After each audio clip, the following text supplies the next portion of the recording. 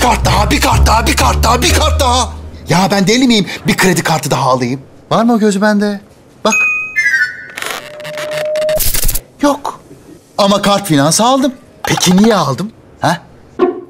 Bir anlat Müjde. Hadi. Şimdi ilk defa kart finanslı olanlar bir yıl boyunca asgari ödemelerini zamanında yaptıklarında kalan borçlarına alışveriş faizi ödemiyor. Yani asgari öde, gerisine faiz ödeme diyor. Gel de alma diyor. Hemen kart finans sahibi olmak için TC kimlik numaranızı 2273'e mesaj atın. Alışveriş